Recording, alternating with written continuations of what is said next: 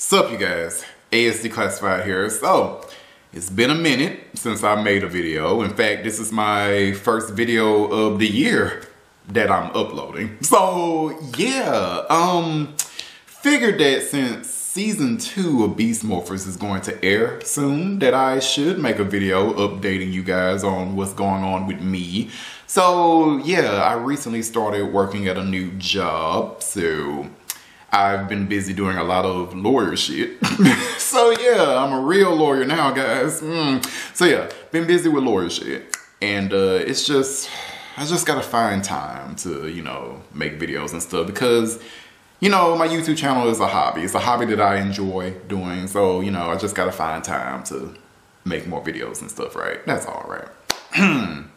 so, I remember last year that I said I was going to make a video talking about, you know, my thoughts on Beast Morphers season one as a whole. Like I was supposed to make a video on that. I actually did make a video on that, but did I edit it? No. I have not. And there's three reasons for that. One, again, time. You know, just trying to find time to even do that kind of stuff when I'm busy with lawyer shit.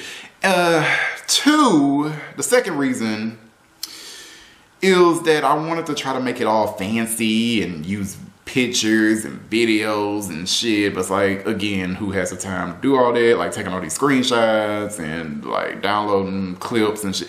It's a lot of time, all right, that I, again, don't have. And plus, I don't really feel like dealing with copyright shit. I don't. My channel is not big enough to be dealing with that kind of shit. It isn't, you know. Nobody cares about fair use, right?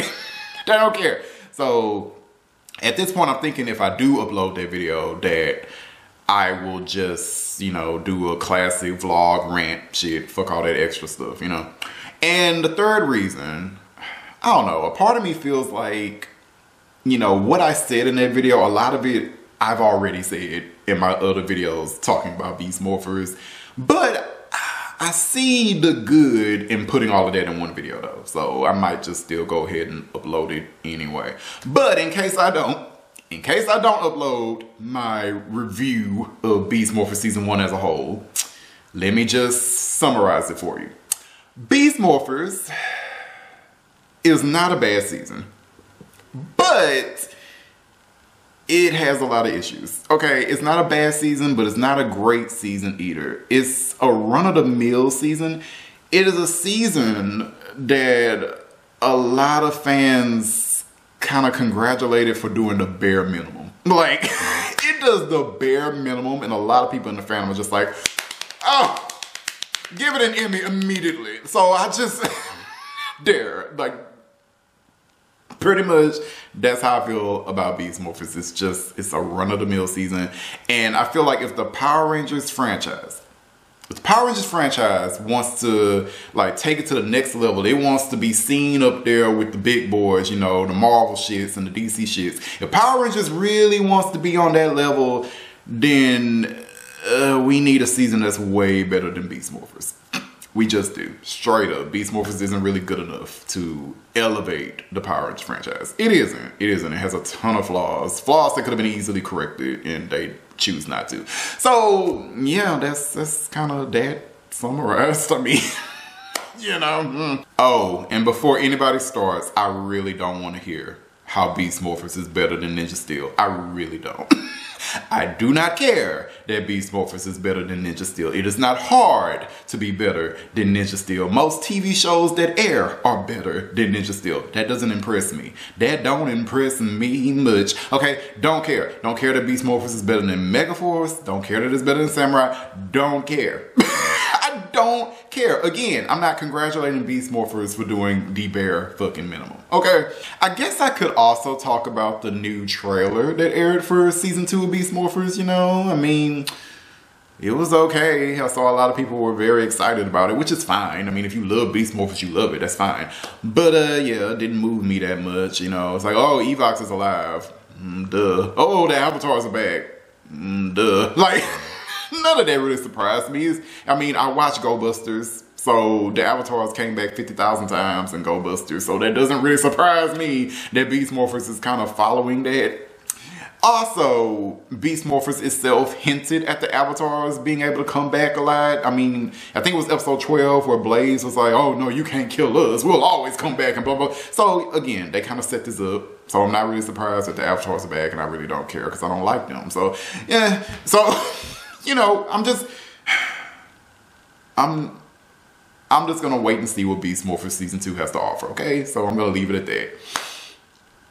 Last thing I wanna talk about you know, No Pink Spandex posted on their Twitter account some, I guess, convention thing that Austin St. John was at. I, think it was in December of 2019. Austin St. John was at a convention and he was explaining why he came back for this little team up event in Beast Morphers Season 2.